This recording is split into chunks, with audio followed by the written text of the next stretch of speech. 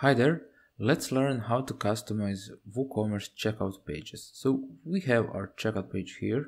Let's just refresh it and it's like this. And I don't want this to be here. I want this to be on the bottom and I want this order total to be up there. So how do we do that? Let's let's dive into. Before we can even change this, we need to create a child theme. So let's go to themes, create a new folder and name it let's say child 17 and then since we are going to create a child theme for our 2017 theme we'll use the style here style css go to child theme child 17 create a new file and then call it style css we can remove here this one we can call it this or we can call it even child 17 doesn't really matter then we'll remove this. We, you can add a custom description as you want. Customize Woo checkout page. Let's call it version 1 the text domain is from the 2017 theme and we need to use that slug as a template here.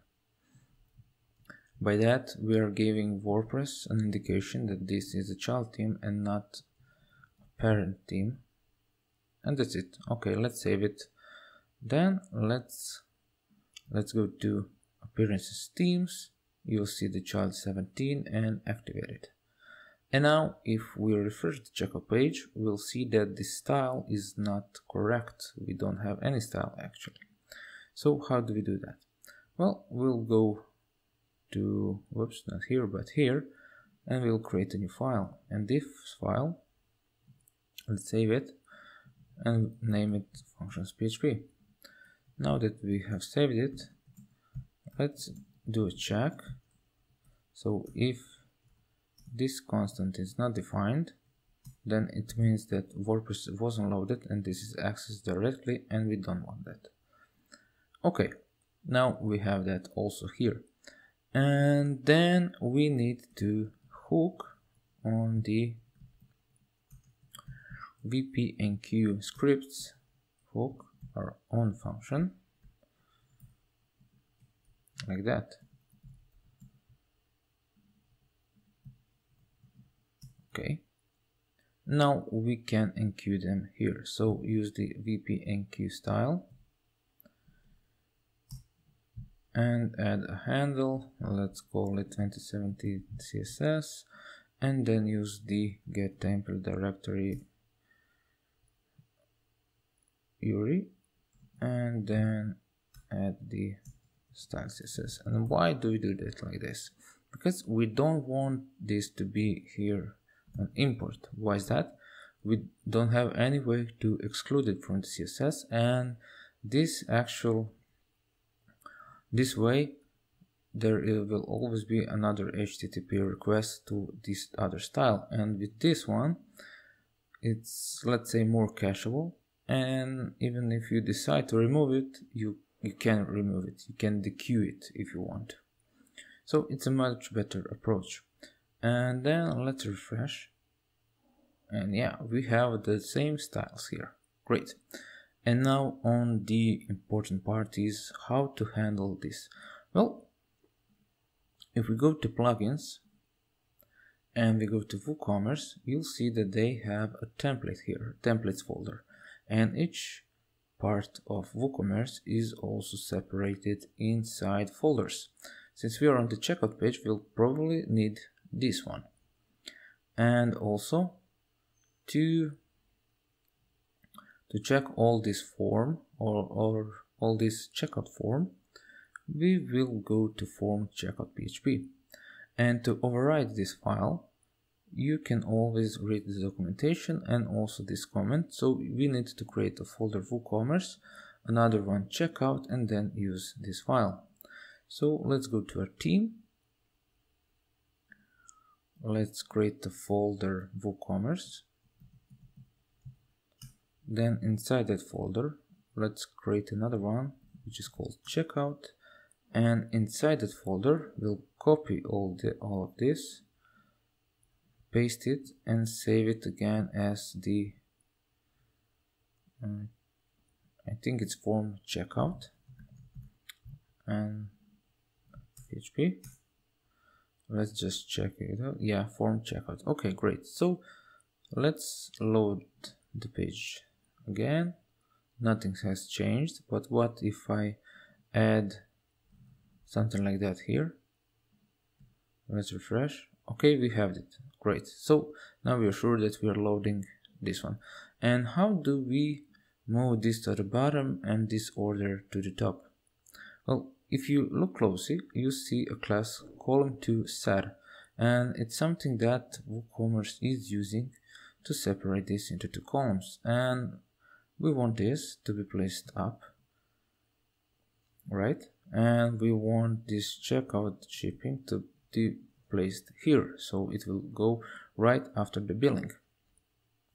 And also this ID we don't want that here anymore because this is the holder of the customer details. And then what's next? So we have done this. We need to close this divider at the bottom. And then we also need to use this column2 here okay then let's place it a little bit like that and then use the the one more divider to do it like that and let's then let's move it like this right? Okay let's now refresh. Whoa so we already have done some great great reordering with just a simple copy and paste right? And now what if we want to move this shipping here or here or somewhere else? How to do that?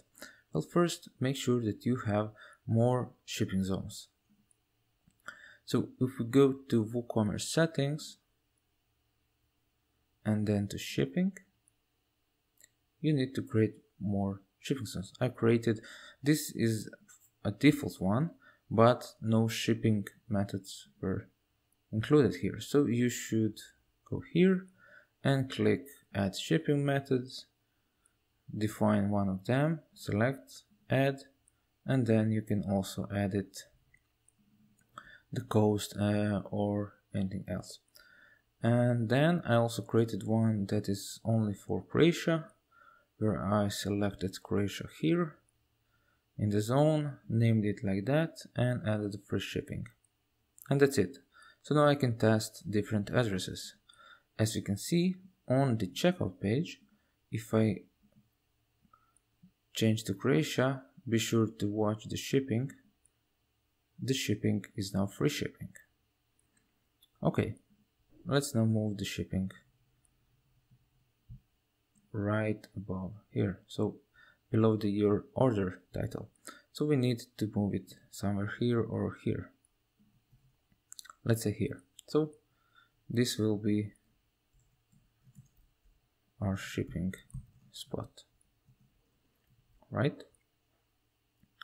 Okay, and you can see that WooCommerce is using this WooCommerce checkout order review. If you don't know what what is hooked in here, you can always go to the WooCommerce folder, find in folder, and let's say add action, like that.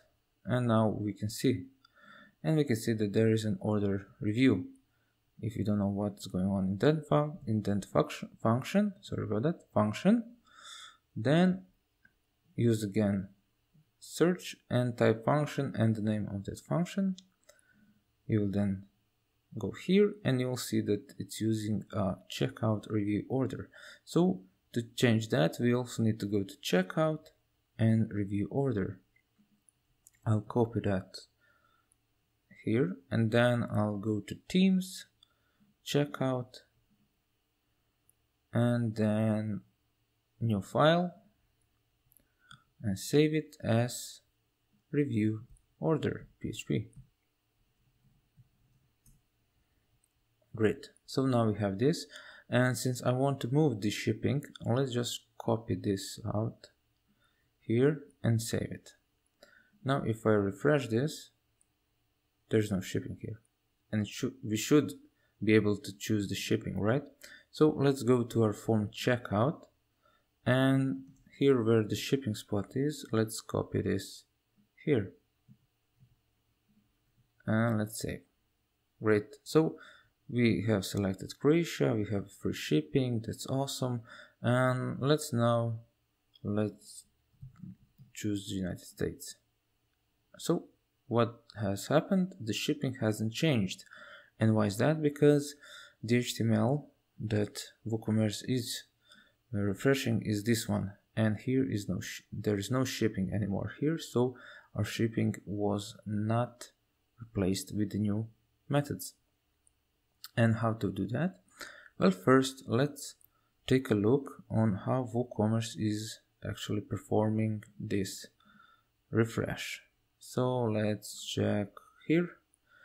We have an ajax call and we have some real, real parameters uh, like result, reload messages and fragments. And inside these fragments, we can see that each fragment is actually a class and each value of that fragment is actually HTML and a big one, right? So what what does it do? It goes it's, it goes here. It uses this this one and then with the, with jQuery it's fine it finds this this element and then replaces the whole element with the new new HTML and we'll do just that. But before we do that we actually need to change this shipping. Right. This shipping right here and put it in a table. So how do we do that? Well I'll just use a table here that will say table let's say my custom shipping table and body and then put both of them here. Like that. And let's save. If I now refresh everything we'll see that the styling is here there are some shipping methods but because the country is set to United Kingdom but what if I choose Croatia? Again nothing happened and I still can do that but as you can see nothing is here correctly done because Croatia is not included in these shipping methods. So how do we change actually this? Well if we go to WooCommerce and go to includes and to file class WC Ajax, you can scroll down a bit and you'll see that there is so we have also the update shipping method but actually what we need here is the update order review and if we if we scroll down a bit you'll see that there are fragments here and we can filter them out so how do we do that? Well, let's copy that here. And then let's go to our functions and say add filter and say child 70 fragment. Let's go create that function. And inside this function, there is a parameter fragment or fragments multiple plural and we'll also return them but before we return them we want to add our own here. And how do we do that? Well pretty simple. We can just copy this out. We can then start the buffer. Echo this out. And once this is echoed out we want the buffer to return everything that was buffered in our output so we can just use this shipping HTML and like that. And then we can go to fragments and we need to enter the key with the class we want to change. So this is it and then shipping HTML So what will be done here? Once the Ajax is returned, in the form checkout, the jQuery will look into this class, it will get that element and it will replace it with this new HTML. And once another Ajax is done, again everything will will be done. So we need to have that class again inside the HTML. Okay, so let's refresh it now. So we have free shipping. And if I go to United States, here is done, but the free shipping isn't. And if we go to console, fragments, we have it, but what have we done here? We didn't include the dot. So jQuery doesn't know if this is a class, an ID, or something else. So let's add the dot here, save it. And now let's also go to Croatia and then United States. And here it is. The shipping has changed and everything is working now fine. And that's it. I hope you have learned a lot on how to customize WooCommerce checkout pages and also how to move some parts of it around and how to test it and solve if it needs to solve.